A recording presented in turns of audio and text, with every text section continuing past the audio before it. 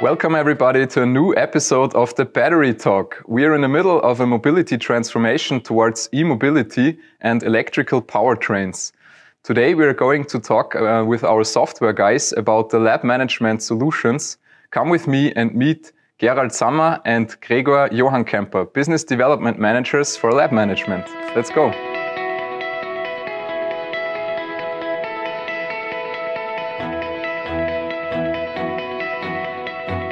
So, hi Gerald and hi Gregor. Hi.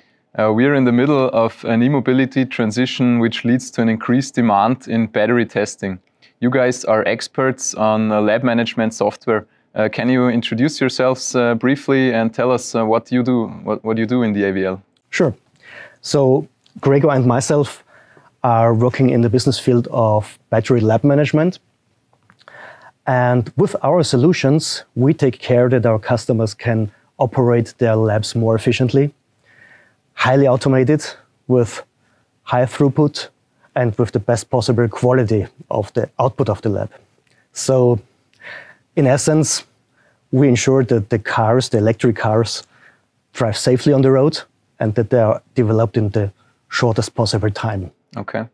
So, uh, what's what's the main difference uh, compared to a conventional powertrain for which the AVL is uh, already very, very well known? I mean, there's a big difference in battery testing. Uh, we have to differentiate between two types of labs. So there are the module and pack labs, which are quite similar to the conventional powertrain labs. But there are also the battery cell labs, and they are really different because there you have to test hundreds or even thousands of cells simultaneously. And you can't do that with manual management of the lab. Okay, I mean thousands. Uh, that sounds like a lot. Uh, I imagine a beehive and complete chaos. Uh, how do how do the typical customers in this field uh, look like? Can you describe a little bit better?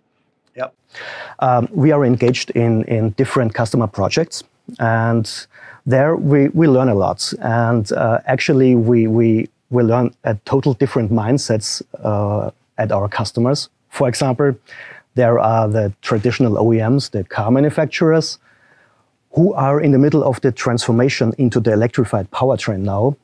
I mean, they, they really know how to, uh, to operate labs, mm-hmm. yeah, but they have to master this change now. And on the other hand, there are the new entrants or the startup companies. They are really fresh in that market and they have to master this heavy growth. So they really need to extend their, their business. And what we see is mainly they don't have mature processes at all. Okay.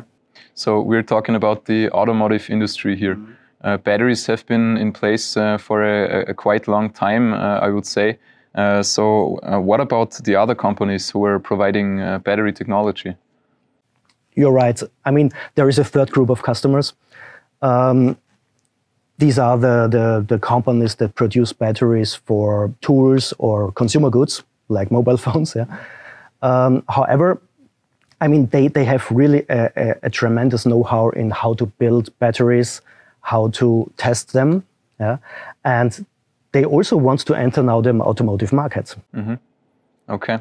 Uh, Gregor, uh, can you tell us maybe why uh, the automotive uh, industry is not uh, simply asking the other companies to help them out in, in battery developing and testing? Yeah, unfortunately, um, the testing or the standards are different from the uh, consumer electrics. So if you're testing a battery for a torch, for instance, it's different than the testing the battery in the automotive area, so to bring in a battery to the car. Yeah? So it's different um, to test it. So uh, can you elaborate a little bit more in detail? What's the difference between an automotive battery uh, test lab and uh, a battery test lab for, let's say, consumer goods? Yes. So in the automotive industry, the, we have higher regulation regarding the evaluation standards and validation standards. So to give you some examples, we have regulations regarding transportation of a battery, regarding the safety of the battery, and in addition also environmental tests. So um, to do so, we have we see also different kind of engineers, engineer groups that do the testing and do the evaluation. So we have a, a chemist doing choosing the material and doing the evaluation for the materials of the battery. We have an electric engineer that uh, choose the right battery for the right engine, for the right um, electric engine, and we see also um, mechanical engineers to do the housing for the battery in case of a crash of a car. Uh, so these groups have to work together uh, in the same team to do the evaluation of a complete battery. Mm -hmm.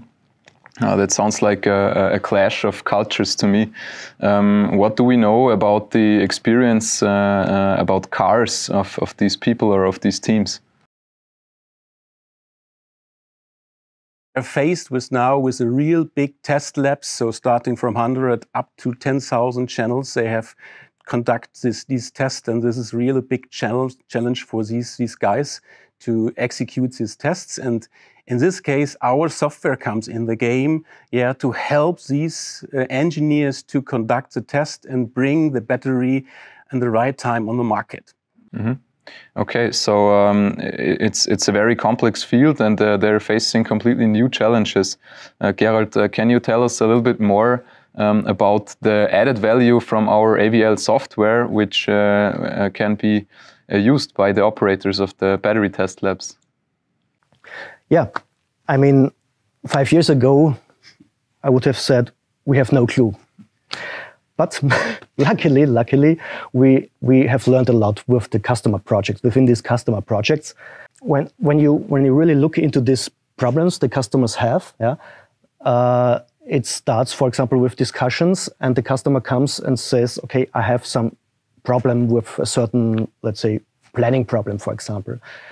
But uh, after investigating more the situation at the customer, we find out that uh, you can't solve this with, for example, a single tool. Yeah? You have to look at the whole tool chain, and uh, that's why we do usually a deep discussion with the customer first, and then put these learnings into our software configuration in order to, to apply the best solution for our customers. Okay, uh, that sounds great. Uh, can you give us an example, a concrete example? Sure. I mean, one customer uh, asked us for an improved scheduling tool. And uh, it turned out that uh, that customer needed to, to ramp up his production capacity tremendously. So a tool would not solve that easily by just improving the scheduling of the lab. So what we did is uh, we really uh, digged into the different areas of the whole process, and uh, we found out that the initial issue is that the whole lab operated at around about 30% of utilization. And a battery lab, you need to ramp up to 70, 80, or 90% utilization in order to be efficient and in order to be competitive. Okay. Um, so, uh, does the customer not uh, consider all of this when he is designing his uh, facility? So, when he starts uh, on a green field, uh, he can maybe um, estimate how many battery cells he, he, wants to test and then uh, get the appropriate amount of equipment in place? Of course, you can't utilize your hardware to 100%. And when you look at such customers that are in such a heavy growth phase, they are at about 30% utilization. So that means there is a huge punch of, of 70% not utilized hardware in the lab. Yeah. And this is a, a huge potential for cost savings for the customer. So with a smart software solution, you can easily save hundreds of thousands of euros easily in the lab per year. Wow, yeah, that sounds uh, really like a lot, uh, 70%. So, um, Gregor, can you tell us uh, something about the details? Uh, what's so special about the software? How does it work and how can it help the customer? Yes, sure.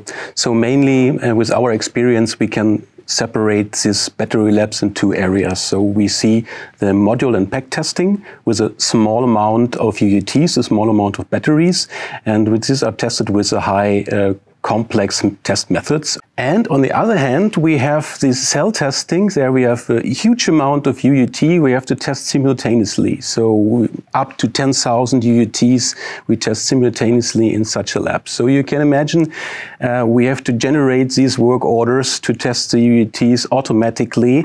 We need guidance. We have a tool to guide the user through the planning process to find for this specific test the right test bed. So we have hundreds of test beds.